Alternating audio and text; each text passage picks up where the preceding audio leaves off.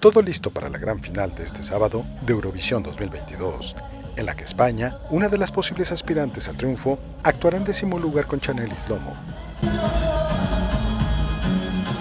La enérgica cantante cubano-española cantará tras otro de los favoritos, la balada Brividi de los anfitriones Mahmoud y Blanco. Y justo antes de otra propuesta tranquila, de Diep de la holandesa S10, que a su vez precederá a la gran candidata de las casas de apuestas, Estefanía de los ucranianos Kala Shorkesta.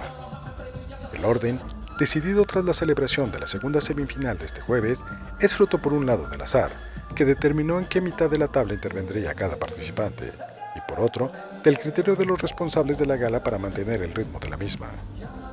Aunque la disciplina de ediciones anteriores no haya sido la norma, sí se ha mantenido la fuerza del concurso, que este sábado celebrará su final con un pronóstico incierto, pese a que Ucrania se haya mantenido en el primer puesto de las apuestas, sobre todo por la ola de solidaridad por la invasión rusa.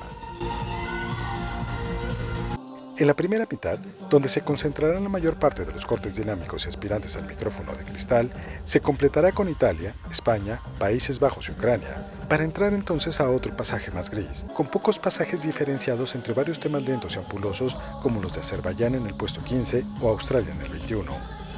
Y en el escenario, y rodeada por unos 8.000 asistentes con mascarilla, aguardará la anfitriona Laura Pausini, que interpretará algunos de los éxitos en italiano de su carrera, pasando por la Solitudine, con la que con 18 años se hizo con la victoria en San Remo.